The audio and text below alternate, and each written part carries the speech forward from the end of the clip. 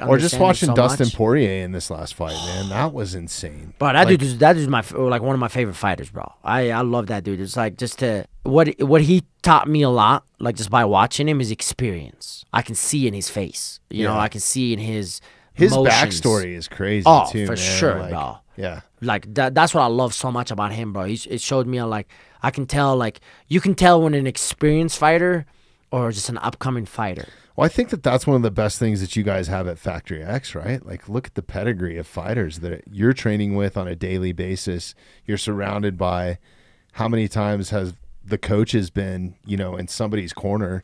I mean, Mark's in somebody's corner like every f- weekend yeah, almost, bro. man. It's crazy. Bro, he just cornering everybody.